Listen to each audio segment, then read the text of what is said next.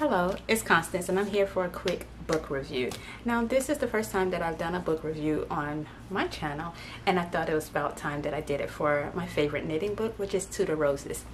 Now when I do a book review I like to um, do a review once I've worked with the book or at least created a garment from the book and this is a knitting pattern book before I do um, a full review because um, there's a difference between doing a book review versus doing a flip through. And so today, as I think I've already stated, I'll be reviewing um, Tudor Roses by Alice Starmore. Now that is the paperback version that I just share, share with you. Um, but let me get into um, just some of the details. Now this book uh, was actually first created, there's um, a first edition version in 1998 and I actually do own that copy. However, I will not be reviewing that copy because it is no longer in publication and I think that, I don't know if those yarns are still being used, but I did purchase a copy of it simply because I'm just a huge fan of Alice Starmore's um, works and designs and I just wanted to have it in my library. But this is the original and I was able to find this collection, um, this book, version of the book, um, from a private seller. And so that was the 1998 version. Then they um, released a new version. I think it was 2013, but let me make sure. Yes, this newer version was released in 2013. Now, I own the paperback version and I also own the hardback version.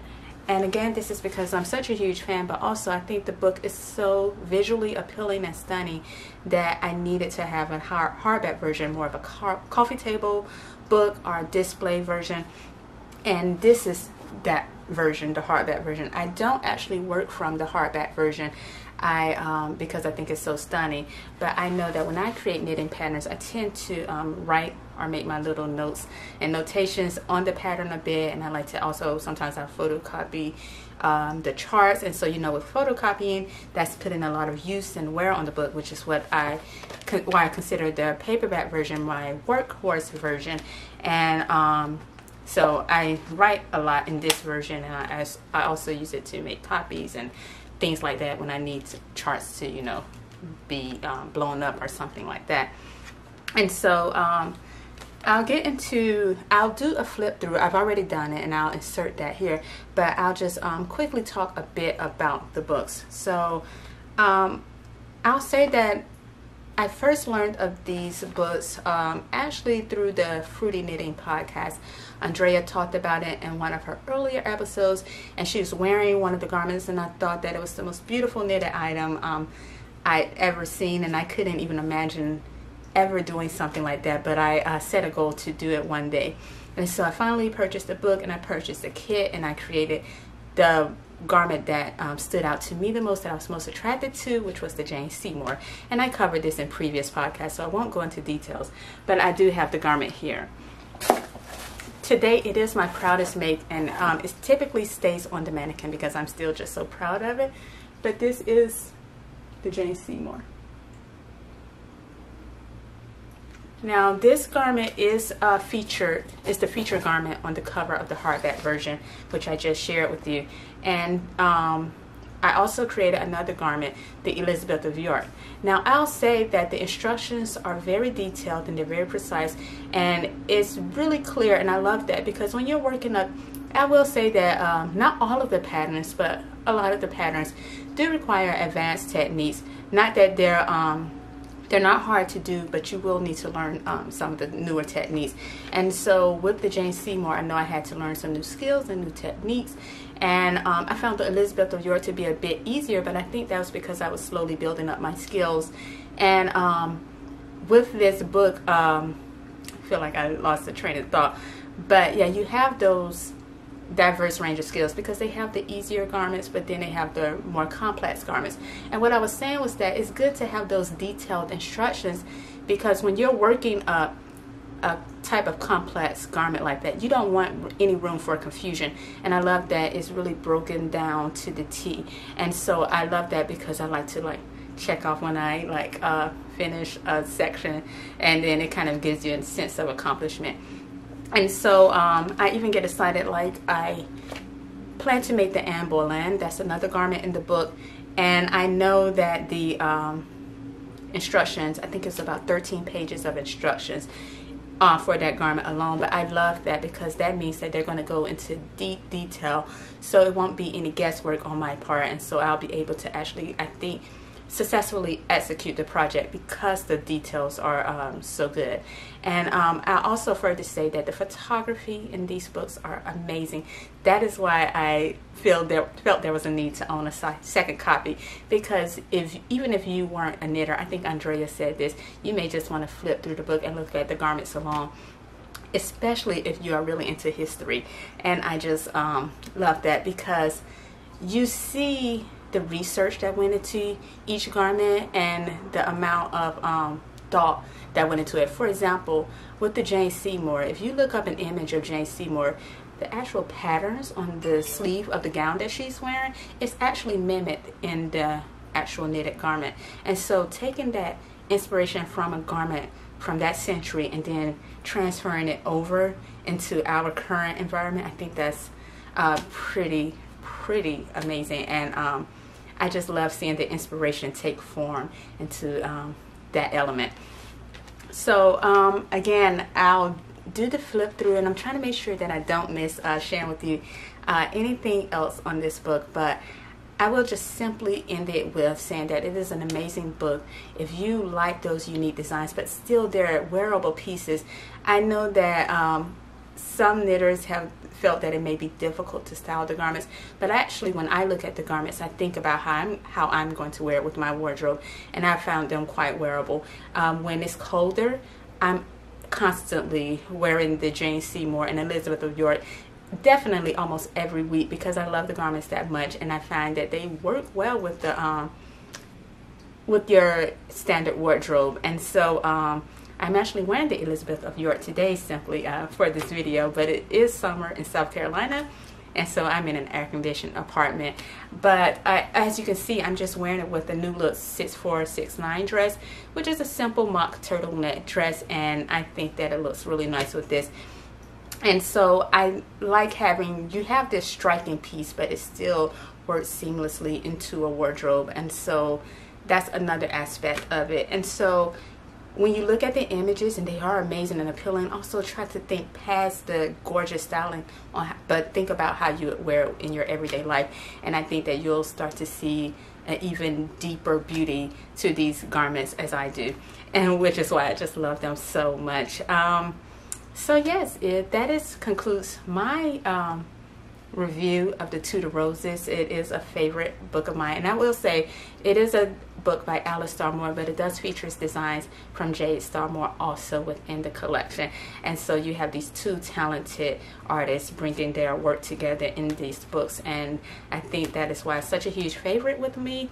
And that is why I have a goal, a lifetime goal to create every garment from this book. Um, one day. And so hopefully I'll be able to share with you how each of those garments are coming along. Oh I'll quickly say I do have one on the needles now. I completed as I've stated the Jane Seymour and the Elizabeth York and I'm currently working on the Mary Queen of Scots. And as you can see um, I changed up the colorway a bit. Once I do a flip through you'll see that the garment is actually a green and blue um, colorway but I decided to go for a more autumn inspired colorway. And actually I'm starting to realize that I typically change up the colorway just a bit with each of the garments. But even if you stay with the exact colors of the garments then you'll still get such an amazing result. All right you guys i think i may i cover everything. I hope i cover everything. But if you have any questions for me let me know down below and i'll try to answer them as best i can. Thank you for taking a moment out of your day to hear all about tudor roses. Bye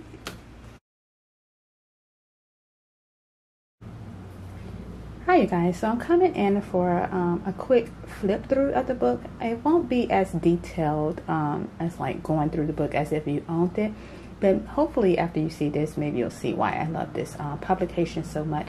So I already opened it to the first page, but let me, I'm going to be doing the flip through from the hardback version.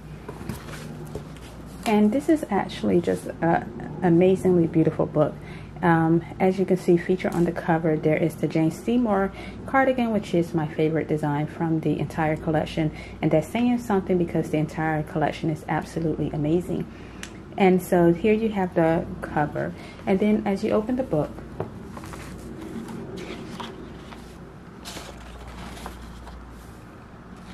you have that information. Then you have um, the table of contents with the list of designers, comment from the coronation of King Henry VIII's coronation. And I just love those little details of the book. Like even here, they tell what each role of each of the women were. And I love that historical aspect. It gives you um, details about the newer edition because this is a newer edition. Also, look at that. You get the family tree and more information about the Tudors. Now let's get into the designs, which are absolutely amazing. I'm not going to, again, again I said it before, but I'm not going to go into detail, so I put post-its just so I can be able to flip more easily to the designs. And again, here we have the Elizabeth of York, which I have created, and it's again one of my favorites. So the book starts off with Elizabeth Woodville, and this is a very simple design as you can see and it's still quite stunning. Then we go to Margaret Beaufort. and this is actually modeled by Alice Starmore's daughter, Jade Starmore, who also has designs in this collection. And if I'm not mistaken, she designed this garment here, which is amazing because it's actually reversible, but I'm not going to uh, get into trying to show every shot. And it's actually probably showing up kind of dark on the camera. Let me see if I can zoom in. Okay, that hasn't really helped with the clarification. But yeah, there you can see how stunning that garment is.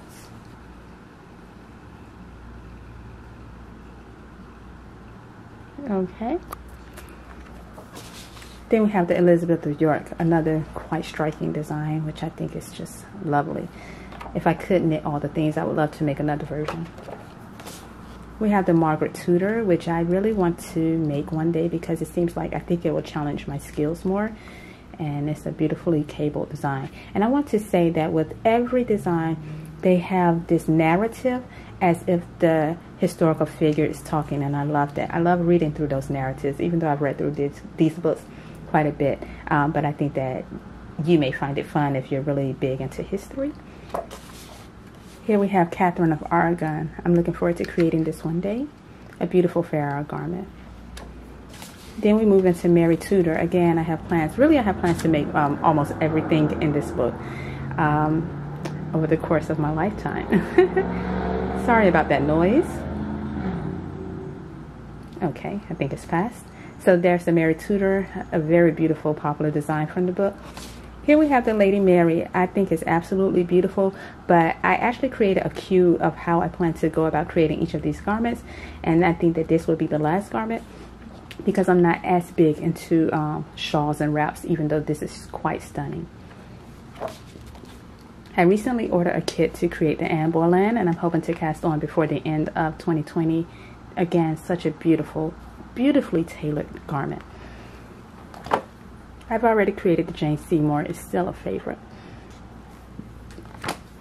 Then we have the Anne of Cleves. I also have plans to create this hopefully next year in 2021. I really want to create the Catherine Howard. I think that the details of the garments are quite exciting and I think it will challenge me. However, let me see if I can zoom in on that for you.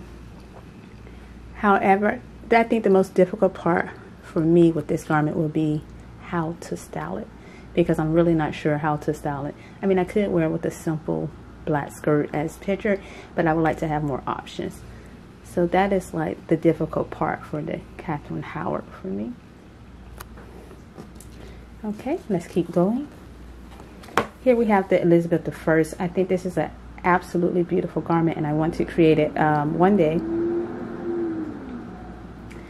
and um, I'm thinking of a red color for my version. I currently have the Mary Queen of Scots on the needles. Let me zoom in again. And I'm going with a more fall color palette, uh, autumn color palette. This was also one of the first garments. As you can see, I'm typically attracted to the cropped um, garments first, but I'm going to get to the other garments. This is my favorite part of the book, and it's actually about the knitting. I love reading it because it goes into details about the inspiration behind the designs and the construction and the techniques that are involved, and I love that aspect of the book. And so I love reading that and getting familiar with that, especially when I'm taking on a new project from the book. And finally, they have an interesting section about the jewelry because you're going to see some really striking pieces in the book um, that accompany each of the garments. And I love those attention to details because I often think about the jewelry and the accessories whenever I'm wearing my um, knitted garments or my handmade garments. And I like to choose accessories that will highlight them. Well, that concludes the flip through of this book. I hope that you found it helpful, and I'll see you all later.